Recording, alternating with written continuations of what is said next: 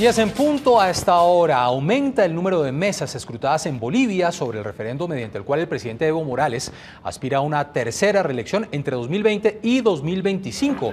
Mientras el gobierno dice que por ahora se presenta un empate técnico, los conteos a boca de urna y el informe preliminar del Tribunal Supremo Electoral informan que el no va ganando al sí. De esta manera, el pueblo boliviano negaría la posibilidad de tener por cuarta vez consecutiva al actual presidente por un periodo que se extendería hasta el año 2025.